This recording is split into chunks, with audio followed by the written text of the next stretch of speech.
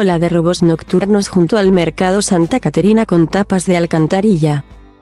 Para poder comprar otra dosis, roban cualquier cosa, explica Pietro, el dueño del restaurante italiano Le Cucine Mandaroso. Uno de los propietarios afectados por la ola de robos que sufren en las últimas semanas negocios del barrio de Sant Pere.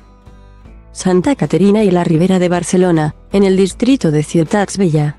Tanto los vecinos como las fuentes policiales consultadas por el periódico coinciden en señalar que detrás de varios de estos ataques zafios se esconden consumidores de narcopisos de la zona que, presa de la ansiedad que genera la abstinencia, roban cualquier cosa que les permita pagar los 5 euros que vale la droga a la que están enganchados. Comillas que podrían llevarse de mi local. Botellas vino, se pregunta Pietro, subrayando el poco sentido que tiene que roben en un negocio en el que apenas hay dinero en efectivo. Pietro además del restaurante de Sant Pere Mitja posee una tienda y un almacén. Los ladrones han tratado de entrar en los tres sitios. Aunque sin conseguirlo. Las grabaciones de la cámara de seguridad de uno de sus establecimientos que acompañan a esta noticia, muestran una de las tentativas, levantan la persiana metálica de noche, cuando el negocio estaba cerrado, y después rompen el cristal de la entrada arrojando una tapa de una alcantarilla cercana. Con ese mismo sistema sí lograron entrar y robar en el El New del Gecko de la calle de Gombao. Un local compartido con otro comercio, el Papayona Circus. Y también en la tienda de ropa Pacífica Benue. Ubicada en la calle General Álvarez de Castro. En estos negocios, además, los ladrones se marcharon dejando la persiana levantada y un agujero en la cristalera. Un paso libre que, durante la misma noche, usaron más saqueadores para colarse y agravar los daños. En el Papayona Circus y el New del Gecko, un taller de espectáculos infantiles. Rompieron puertas y revolvieron armarios y estanterías.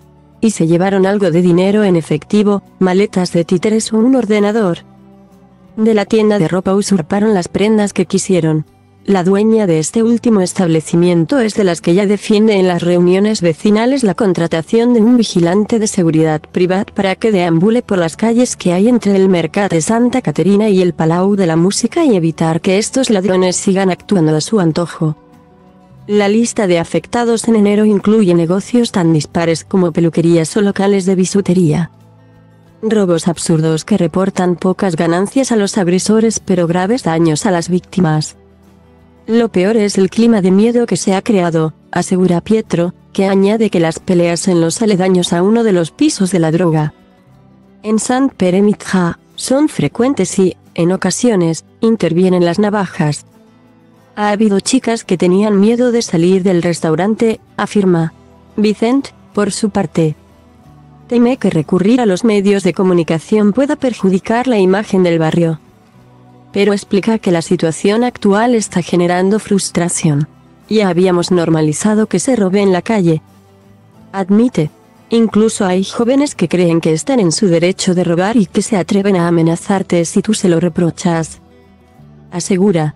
El problema, razona, es que ahora los ladrones parecen haber dado un paso más, asaltando negocios por la noche. Especialmente frustrante resulta el caso de la dueña de Les Dues Sicilias, en la calle de Princesa. Ha sufrido dos robos por parte de un ladrón al que ha reconocido a través de las cámaras. En esas imágenes, que también publica este diario, se aprecia como un encapuchado secuela de madrugada en el local. Arranca el dinero de la caja registradora y se marcha. La propietaria asegura que este sospechoso sigue en libertad, Vicent contabiliza alrededor de una docena de casos concentrados en un espacio reducido. Junto al mercado de Santa Caterina, y en pocas semanas. Las fuentes policiales consultadas por este diario no minimizan la gravedad de lo ocurrido y afirman estar encima del problema. Tanto con efectivos de los Mossos de Escuadra como de la Guardia Urbana de Barcelona. Sin embargo, añaden, no pueden dar demasiado información sobre un caso que se encuentra en fase de investigación. En los últimos días, se han producido siete arrestos de ladrones que han cometido robos con fuerza contra establecimientos de la zona. Las mismas fuentes de la policía catalana admiten que se han cometido errores, como dejar desprotegidos negocios como el Pacifica Benue.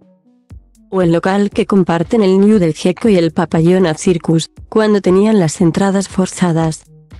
Lo que permitió que sufrieran nuevos saqueos durante la misma noche. Y confirman que los sospechosos de perpetrar estos ataques, que no demuestran ningún grado de especialización, parecen estar vinculados a pisos de la droga. Algunos de los cuales funcionan como narcopiso, que llevan meses abiertos en el barrio.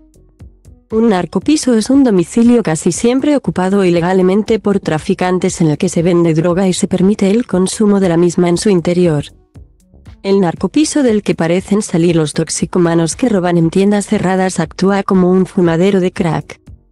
Según los vecinos, no es algo nuevo, tal como avanzó el periódico, los únicos pisos de la droga que también consienten el consumo lo limitan al crack inhalado. La paradoja policial reside en que si se apuesta por actuar con firmeza e inundar de patrullas uniformadas la zona, los ladrones se marcharán a otro lugar. En consecuencia, los robos dejarán de cometerse en el vecindario de Sant Pere. Santa Caterina y la Ribera pero será más complicado acumular pruebas sólidas que permitan alcanzar condenas más duras contra los delincuentes.